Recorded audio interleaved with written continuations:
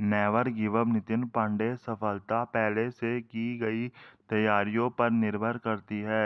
बिना सही तैयारी के किए गए काम में सफलता मिलने की संभावना बने रहती है। चार अप्रैल 2024 नितिन पांडे